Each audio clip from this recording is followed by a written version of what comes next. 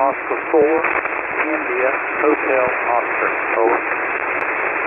India Hotel Oscar. Uh, roger, Roger. India Hotel Oscar. Uh, Roger, Roger. That's correct. I called from North Carolina. Uh, name's Eddie. Over. Uh, Roger, Eddie in North Carolina. And what radio are you running, sir? Uh, Roger, Eddie in North Carolina. And what radio are you running, sir? I'm ready to Hong Kong. I'm 7300. ICOM 7300. Roger, Roger. ICOM 7300. Roger, Roger. And I'm using a dipole antenna. It's only 25 feet high. Present time. So I need something. Roger, Roger. Eddie, understand you're on a dipole antenna that's only like, uh, what, 20, 25 feet high? Is that a Roger? You're on a dipole antenna that's only like, uh, what, 20, 25 feet high. Is that a Roger? Uh, that's Roger. 25 feet high. Roger. Roger. Well, yeah, you know, um, you don't have to drink or smoke to have a good time, Eddie. Uh, 25 feet is a, is a nice height. I wouldn't uh, go out of my way to change that. Uh, your uh, ERP is uh, occurring uh, skywave. So height is, you know, anything in that area, 25, 30 feet, will just do do magnificent because uh, it's not like VHF or UHF where you got to get up uh, 70 feet or something like that. Uh, you just have to be up high enough that the ground doesn't affect uh, the tuning as such. And uh, 25 feet uh, should do you fine.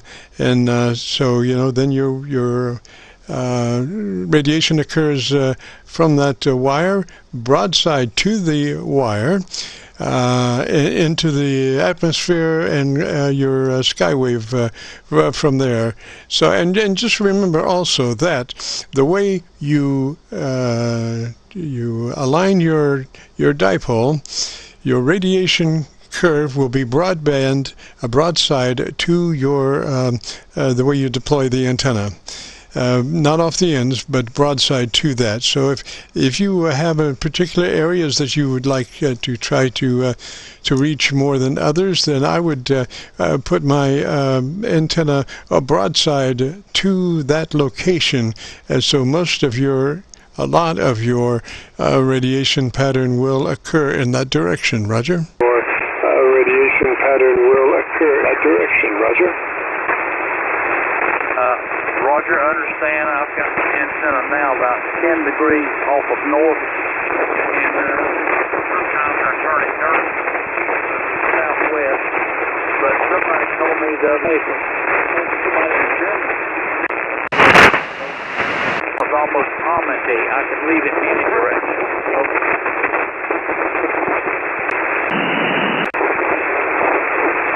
Yeah, Eddie, I'm uh, catching a, quite a bit of blow by from somewhere. I'm not real sure where, where, you know, it's on the upper side or lower side of the frequency that we're operating on, but uh, I'm getting quite a bit of trash uh, coming in. But anyway, yes, uh, if you will think about it, uh, uh, that um, radiation will occur broadside uh, to your um, your antenna.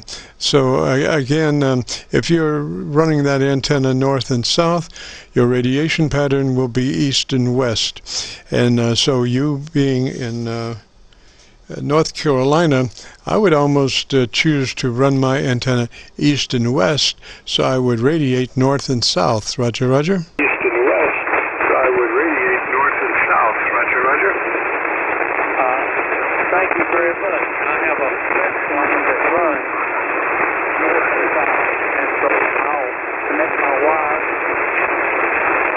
put it on side, close to east to west. Is that correct? Over.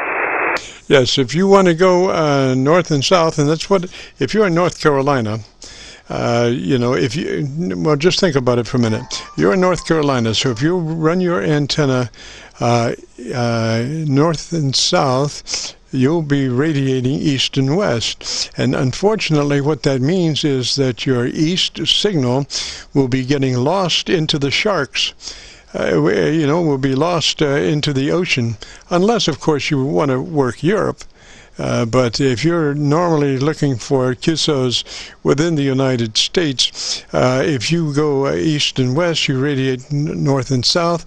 If you go north and south, you radiate east and west. Uh, so you know, you being there on the on the coast more or less, I would uh, string that uh, antenna east and west. So I would uh, transmit north and south. Roger. So I would transmit north and south. Roger. Understand. I'm going to turn my some more. Broadside, west, and can help with reception. Over.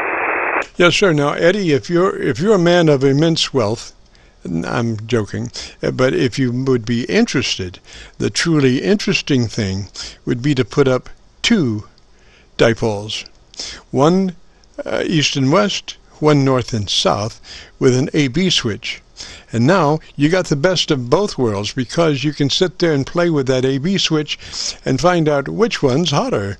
You know, I do that quite a bit uh, because uh, you know you and and sometimes in the same QSO, Mother Nature switches and uh, things start looking hotter on the uh, other antenna.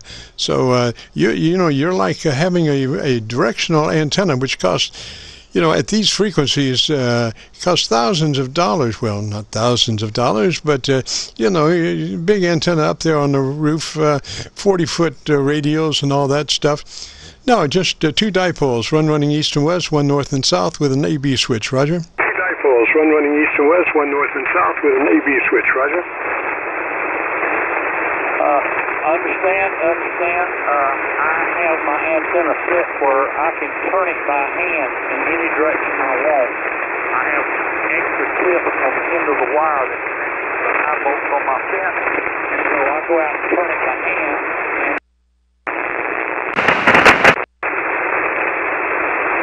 Now, Eddie, I was just copying just a little bit of that, and I want to try to get you back on Milford, uh, uh, PA. I think that might be the better that's my go-to SDR. Just is a beautiful SDR, except when it's kicking me off every 10 minutes for something or the other. And I, you know, I wish I could get a um, a password where they'd leave me alone. But uh, I guess my uh, my fate is that I just have to keep fighting them. Anyway, uh, come back and uh, tell me what you were saying again, Eddie. Anyway, uh, come back and uh, tell me what you were saying again, Eddie. It, it's uh, the uh, just thinking that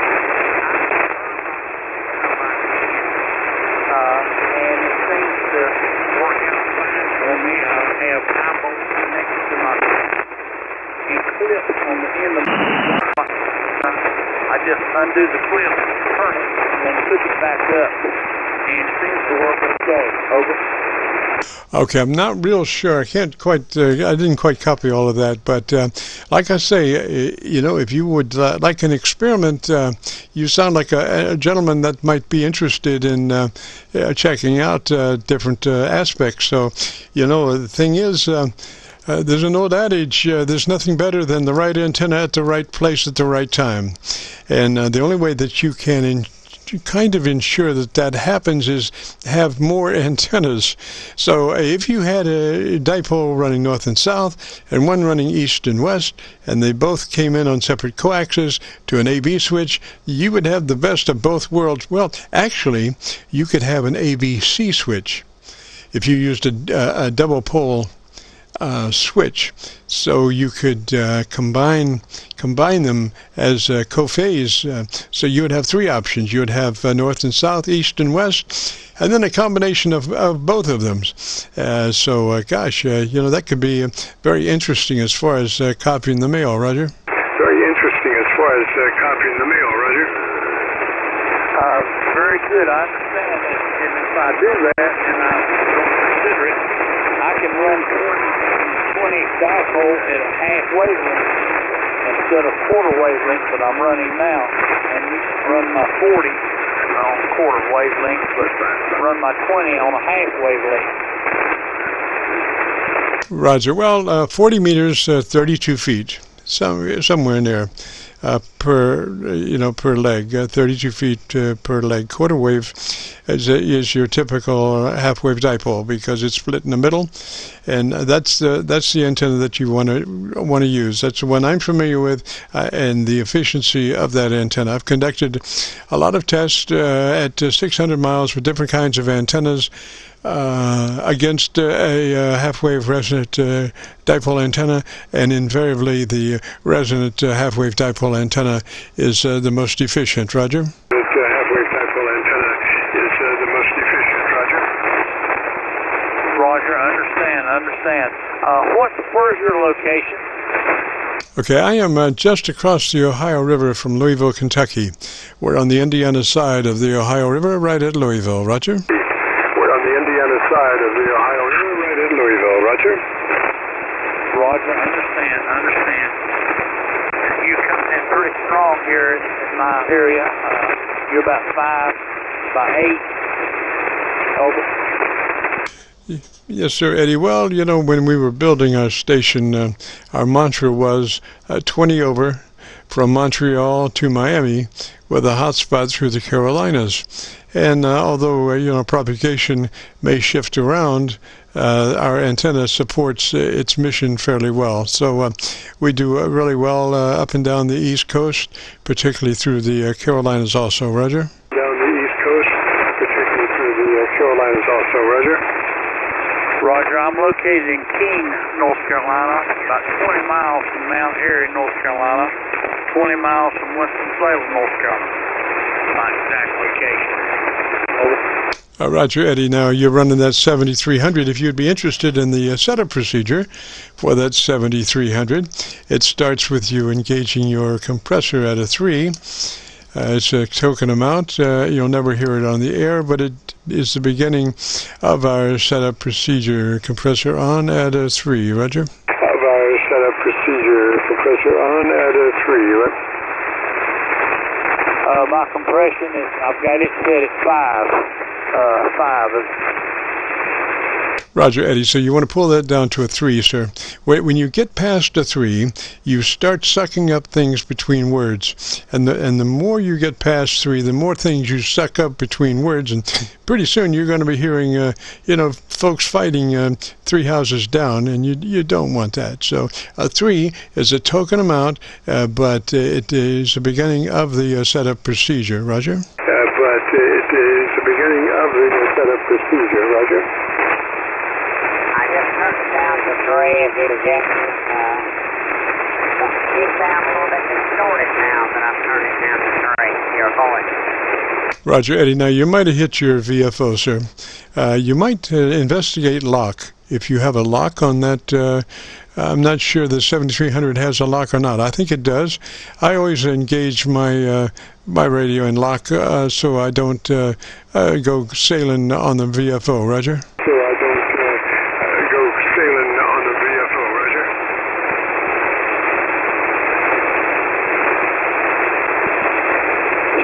I've lost you. I've lost you. Sorry. Roger, you're high on frequency, sir. We're on uh, 7188. Uh, put your VFO back on 71, uh, 7188 uh, 000. Roger.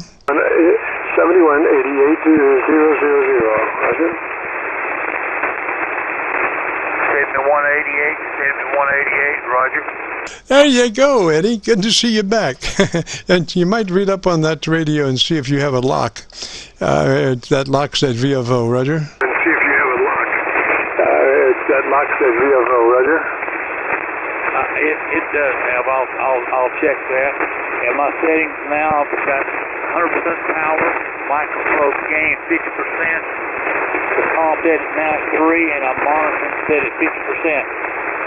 All right. Now, uh, what the second part of our setup uh, is uh, you move to your ALC meter with mic gain in hand, and as you speak fairly rapidly, 100, 200, 300, so you can see what the meter's reading, you adjust that ALC where it's reading mid-scale to two-thirds by way of uh, mic gain control.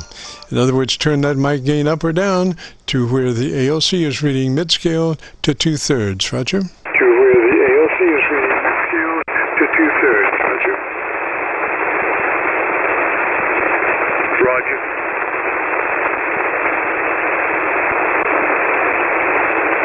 I don't know if you want to do that now or just uh, put a note to self on that. I don't know if you want to do that now or just uh, put a note self on that. I've just turned it down to 45%. Seems better. Now, no, don't. Uh, yeah, yeah. Mic gain only serves to adjust the ALC. Uh, do not, uh, you know, concentrate on your ALC meter uh, for mid-scale to two-thirds. Turn your mic gain up to where your ALC meter is reading mid-scale to two-thirds as you speak fairly rapidly, 100, 200, 300. To two-thirds as you speak fairly rapidly, 100, 200, 300.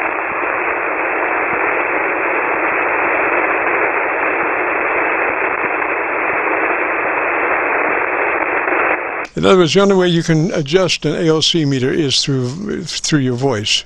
So you have to be in the transmit mode. Transmit mode, and you're saying 100, 200, 300, and looking at your ALC meter and adjusting that ALC meter where it's reading mid-scale to two-thirds by way of mic gain control. And I, I, can give you a note on that. Note to self uh, that uh, when uh, you have time or, you know, you want to figure that out, uh, you can do that. Roger? Timer, you know, you want to figure that out, uh, you can do that. Roger. Uh, Roger, Roger. AOC, adjusting AOC. Roger, Roger. Mic gain control uh, will adjust your ALC uh, to uh, mid-scale to two-thirds. And once you get that, then uh, are you using the uh, stock 7300 mic, or what mic are you using on that radio? Are you using the uh, stock 7300 mic or what mic are you using on that radio? Uh, I'm using the microphone hand with the radio. Yes, sir. Using the stock hand mic. Okay. Uh, let me give you uh, a, note to, to self. When you work that stock mic, do not work directly into it. Pull it to the side of your lips and work across it. Pull it to the corner of your lips and talk across it. Do not talk directly into it because you get a lot of uh, mouth noise and, and plosives and stuff like that. So when you pull that mic directly to the side of your mouth and talk across it, uh, that mic will be perfect uh, uh as it is. Otherwise, you'll have to get a windscreen.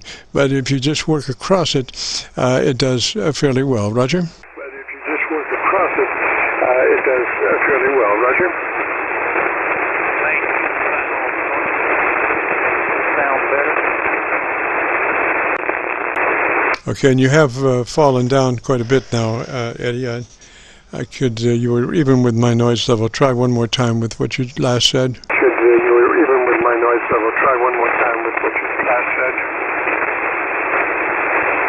I've got it on the top of my mouth. I'm talking across it. Uh, give me a little bit longer transmission. Let me listen to you. Give me 10 seconds on your antenna system and uh, let me hear you. Give me 10 seconds on your antenna system and uh, let me hear you.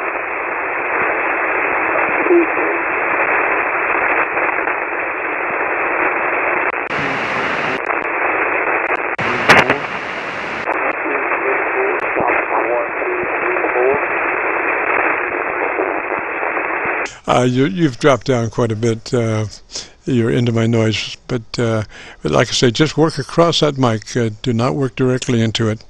And uh, then uh, maybe uh, tomorrow, or not tomorrow, but next Friday, you could join us, and uh, maybe we have a little bit better signal coming in, and we could talk about uh, what we need to do EQ wise uh, to uh, get that radio uh, perfect. So uh, let me say uh, 73 for now, uh, Eddie, and uh, you have a great afternoon, a beautiful weekend, Roger. Now, uh, Eddie, and uh, you have a great afternoon, a beautiful weekend, Roger. 73. Thank you. Talk to you next Friday. 73. Yes, sir, 73. And that with that, uh, we'll be concluding our uh, Friday afternoon QSO that. Since uh, 3.30, we've been rolling and we're rolling tape. Anybody that participated, if you want to hear what your radio sounds like, if you go to YouTube and do a call letter search for Kilo Charlie 9, Victor Kilo Victor, followed by today's date, 6-11-21, that will take you uh, directly uh, to this recording. If you uh, do just a call letter search on YouTube, that will take you to our QSO Vlog page, where we're now running about 1,650 uh, QSO vlog recordings, and you can peruse and find all different kinds of people's audio and uh, you know get ideas uh, you know and uh, very interesting. But with that uh, we will conclude today's broadcast. This is uh, KC9 VKV returning the frequency to normal uh, everyday amateur radio use. This is KC9 VKV clear